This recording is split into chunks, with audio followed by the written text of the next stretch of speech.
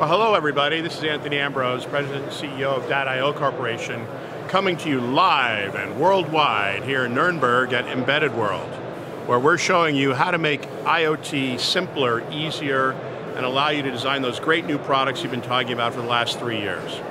So what is this big machine we see here? This machine here, it looks big, but this is actually one of the smaller of our two handlers is our PSV 5000, and you'll notice it's equipped with our SentriX capability to allow for secure provisioning of IoT devices.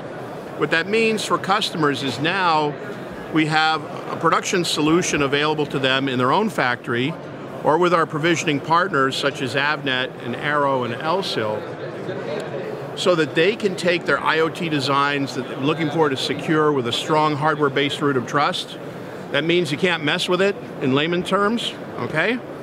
And they can get it done and they have a, a factory solution so they can actually deploy those hardware-based roots of trust easily, cost effectively, using data Data.io technology. So every single chip gets to get a unique security It can. pressed onto it. Oh, Right, it you're a unique does it actually individual, right? Yeah. So uh, why shouldn't every chip have a unique individual identity? People have unique individual identities, right? We can do that now with SentriX using the PKI technology. The semiconductor companies enable that with the features they have in their chips. But what we do is we're the how. How does it get done in manufacturing? How can you design the system here in Germany and go to production in Mexico or Korea or uh, Morocco, okay? And be assured that your device is secure. So maybe you don't want to do it at the chip fab. You want to do it more closely to where you are, or Well, you, what you want to be able to do is make sure you have control. Now, semiconductor companies can do security provisioning for you as well. They tend to do it in big batches with long lead time. And that works great for some customers. For a lot of customers that demand changes or their firmware updates are very regular, they, they really can't go with a 10 or 12 week lead time because everything changes. So with Data I/O, you can change your firmware this morning, I can load it in this machine, and I can provision your part instantaneously with your new job. What goes into provisioning a chip? So provisioning is a number of different things. So for example, people think of identity. What that means is uh, key information can be stored in a secure location. So for example, if I have a, an identity, uh, and when I say PKI, I mean the same technology used when you do secure transactions on the web. When you see the little lock on your browser, that's fundamentally the same technology we're talking about. And what it, what it establishes is a way for us to give a unique identity to each chip that passes through the machine. It has a private key, which is stored on the black box known as the HSM here. And then you also have a corresponding public key, which can be used for things like management later on. So you take that public key and move it to the cloud, for example. You can later on associate devices with that information and then manage them effectively. By manage, I mean turn them on, associate them with a user, do a firmware update, retire them, etc. Uh, so when I think of a chip, it, it seems there's a lot of small, tiny little transistors inside. and Yes. There's the connectors somehow, somewhere. Where in that product do you get in? So if you look closely, go ahead and zoom in on the machine here. And you zoom in on this tray, okay? So you can see we're picking up parts right from the tray. So each of those parts has leads. So think of it like, like my fingers almost on my hand. So that, those leads on the parts will go into sockets, which are in the programmers there. And so we'll literally connect electrically with each of the leads to our programming engine. Okay, that's the benefit of programming the Data I/O way because we have access to every pin on the silicon. Okay? If you wait to the end of the line, you don't have access to every pin on the silicon. You must go through a special connector on the board, and that can be slow, it can be insecure, and it can be uh, very late in the game. Okay? You have access to every pin, Right, And which- you go and add the Which- secure element. Right, we can go to the secure region of the chip because we have access to every pin, and we work with the semiconductor companies to understand how we should talk to, how we should write, and how we should ultimately uh, uh, secure and prevent any future writing on, on all those regions of the device. This tray can have a lot of chips. Yes. And this is just one of the small devices you have, you say? This is our standard machine. We have one that's a little bit bigger called the PSV 7000. Has two heads and runs about twice as fast. And uh, who are your customers? Who use so these? our customers today are who's who in the automotive industry. So 18 of the top 20 tier ones. When we say a tier one, we refer to somebody like a Bosch or Continental uh, here in Europe. And we're, we're the premier provider of programming for the automotive industry. And about 60% of our business is automotive. The other one's leading industrial companies and programming centers and also emerging IoT companies that need security provisioning that we just talked about. And so automotive, like, as I understand, 10 years ago, they didn't really understand, or I won't say understand, but they didn't really implement security in the way that people should, and that they are now totally thinking about. Um, I think everybody 10 years ago didn't think about security the way they do now, right? It's, it's completely evolved for a couple of reasons. People understand the threat more, right? They've seen it firsthand. Uh, everybody has seen the hacks that have gone on on enterprise systems, consumer products, things like that, and nobody wants to be hacked. That's number one, people understand the, the problem. Number two, government regulation is really starting to take hold. The governments are saying, wait a minute, it's not only not nice for you to have insecure products, it's illegal. And we're going to fine you, and not only fine your company, but fine the officers of the company personally if you do a lousy job securing your product. So now that's sort of the motivation, uh, kick in the pants, if you will, for people to get going on their secure designs. So now that they're asking the question, what am I supposed to do? They come to Data I/O and we say, don't worry, we've got you covered. If you uh, want to pass this, the safety regulation, the, the, safety check for your car, they should check if it's secure. That may, uh, maybe that's too much, but uh, that somebody can just hack your car and drive you off the highway or something. Yeah, I think that might be an extreme example. I think what we're really talking about in cars is saying, look, cars are fundamentally secure. It, it costs a lot for cars. They can spend the money on security. Okay. Yeah. What we're talking about also is now less expensive devices also needing security. But with cars, again, we support all the major brands. Uh, we, we think they're doing a reasonable job on security and we see even more and more things coming down the road to simplify that using products like SentriX. And here at the Embedded World, there's tens of billions of microcontrollers being shipped around the world.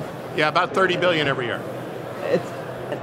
How many of them are secure enough and how many of them can you target to add the layers? Well, we can program today pretty much all the 30 billion on the data side.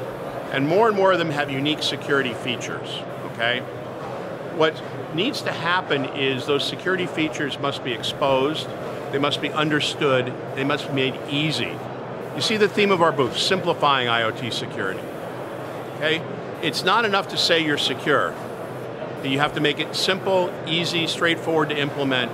And remember, if you're building 30 billion devices a year, this can't be a manual process. It can't be something where someone has to handhold the process.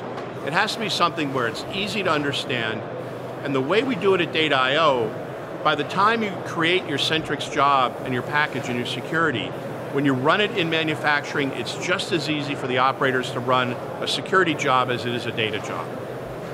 And that's very important because look where the new factories are going, right? They're not hiring PhDs to operate equipment on the night shift. And so it must be really, really easy to operate, and that's where Data I/O excels. You're automated. Yes. The machine just works. The machine you just program works. it in the beginning, and it does thousands of chips. Yes. We do, our customers, we estimate, do between one and a half and two billion chips a year of programming. So obviously something of that magnitude must be automated, repeatable, and executable. Let's say there's a government uh, agency of some kind or uh, a big corporation that has a lot of devices. Do they want to get this device to control their own security? Or is it some, what we would be doing? We'd be working it? in the factories that are building their products because what we get at the end of the day, we provide the security provisioning, but also we put firmware into chips as they're be- being built the products are being manufactured. so we're not securing buildings or we're not securing their enterprise. What we're doing is making sure that their products, their uh, meters, okay, the intelligent door alarms, the things that monitor equipment in the factory, um, fleet management units, uh, anything you can imagine that's connected that needs to be secured. That's what we do. We work on their products. Uh, there's a lot of talk of um, managing uh, cyber sec- security in uh, different continents. Yes. And that sometimes the chip is made in another continent, but the continent in question, let's say Europe or something, wants to manage the security themselves. So maybe they, they, they get. You, you just highlighted a perfect example for SentriX. So, for example, today, let's say you're designing over there in that next booth, okay, and you create all your intellectual property there and you put it on the chip. You can create it so you can do all of that work to create the security job and the security definition here and spread it out to factories all over the world, including some locations that people might think are less secure. Now, Data I/O has been doing that for over 20 years, helping people take intellectual property designed here and putting it out to their factories worldwide. So SentriX is just something that's a little bit better, a little bit more secure than what we've been doing for decades. So you also help with the security of the IP uh, being not captured Absolutely. by some competitor or something. like that. Absolutely, because if you protect your IP, when you do your job and you run it on SentriX, what happens is your IP is married with the algorithm and the, the technology around the programmer, and that is encrypted and wrapped. So that that whole package is sent in a secure way to wherever the product's being manufactured. That's a big deal. Has everybody understood this? Everybody's, uh, you say it's already one or two billion chips per year, but it's still 28 billion that are not uh, using your technology. That's a really good question. People are becoming much more knowledgeable about why they need to do security now. Maybe a couple years ago it was more theoretical. And remember, we're just coming out of COVID, we're coming out of supply chain. People had a lot of things on their mind. Okay? What we're seeing here at Embedded World now is people are coming up for air after three years and saying, I need to do new things. I need to create new things, new products, new designs. And those new designs will have security. And they're coming to us saying, I have a great idea for a new product, Data I/O. How do I deliver it and manufacture? And that's where we come in. Uh, there's one question I like asking, uh, but um, I'm not sure if it's. Uh, nobody's told me it's possible. Is it possible to have 100% security? No, For sure not. Even uh, when you have very So- good encryption one side, the other side. So can product, products it? are designed by human beings. Human beings are imperfect, therefore we can never have 100% security. QED. So, so that's not happening, but uh, you want to get as close to 100% as possible. You want to get the best possible security consistent with the product you're building and the risk you're managing. So for example, if I'm trying to protect a light bulb that's connected, I, I really don't need to spend a lot of money on that. If I'm protecting uh, an armament or an airplane, that's a whole different story, okay? I'm going to spend a lot more money to get that much higher level of security. Now, we can have extraordinary levels of security, but you ask me about 100%, there is no guarantee for 100% of anything.